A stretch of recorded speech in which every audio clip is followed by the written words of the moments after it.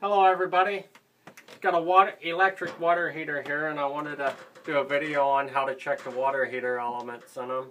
If you're getting hot water but it's not as hot as it usually is or it don't last as long, the hot water, most likely one of your elements is bad in it and I'm going to show you how to check those with a multimeter.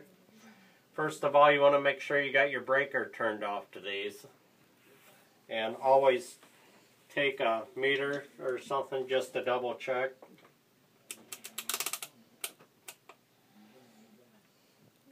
Which I'll go ahead and check this one here, which I know I got it off, but as you can see I ain't got no power there.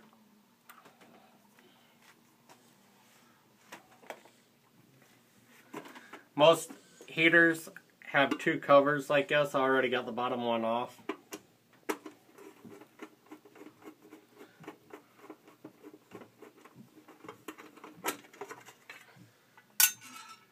And a lot of them will have these little plastic covers on them, or a little piece of insulation there. Take and unhook your wires.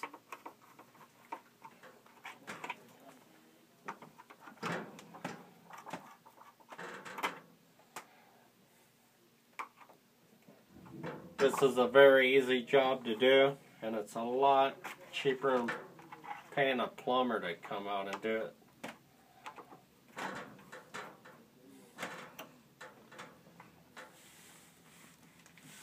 You'll want to take your multimeter and set it to ohms. You can't see it on this one, it's getting kind of old, but you'll want to put it on 200 on the ohms. And you should have a reading between 10 and 15 ohms, I do believe.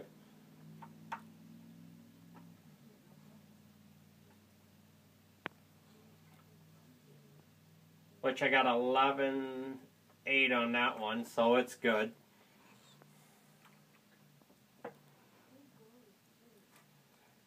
And on the bottom one, I'm not getting anything on that, so this is the bad element on it.